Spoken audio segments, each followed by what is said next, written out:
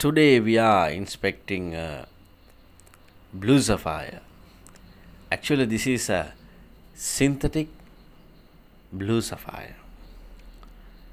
When you magnify, you could see numerous gas bubbles and curve bands.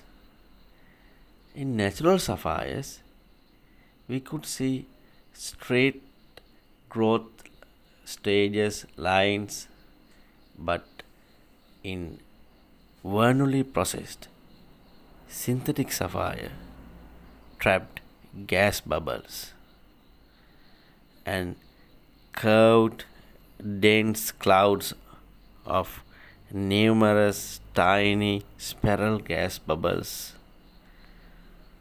So when you are purchasing blue sapphire or when you are uh, inspecting use the magnification.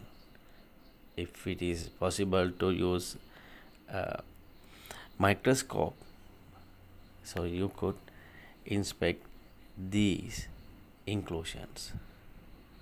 So we think this information will help you in gemology and trading. Thank you